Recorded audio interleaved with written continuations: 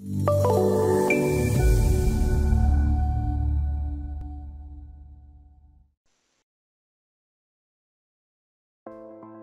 are many challenges in monopile design. How can you limit your material, fabrication, transportation and installation costs? And how do you meet a high standard for safety and reduce your environmental impact? Hi, I'm Vasilios Bassas, a geotechnical support engineer at Bentley Systems, and I'm passionate about helping people use technology to make their lives easier. In this course, I'll teach you the basics of Monopile Designer, so you can start using this powerful tool to make your life easier. I'll share the ins and outs of creating and analyzing a project. I'll show you how to define soil layers and material parameters in soil mode. I'll walk you through easy and accessible ways of defining a design space, generating and calculating the geometry dataset, 3D models, and ultimately calibrating your 1D model in calibration mode. I'll also help you run your 1D analysis and verify your results against the 3D finite element design verification model in analysis mode.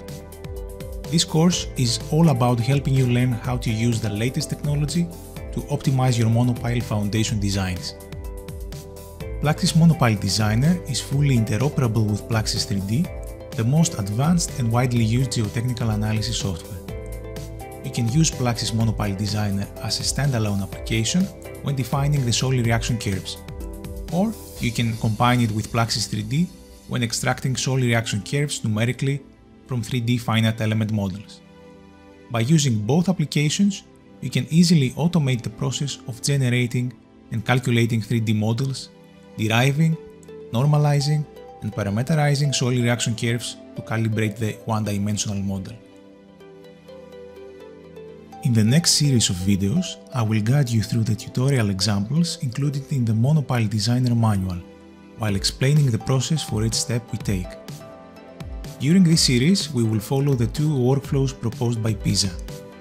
In the first four videos, we will lay the foundations for effectively using the software and apply the principles of numerical-based design for a monopile foundation in a single layer of clay.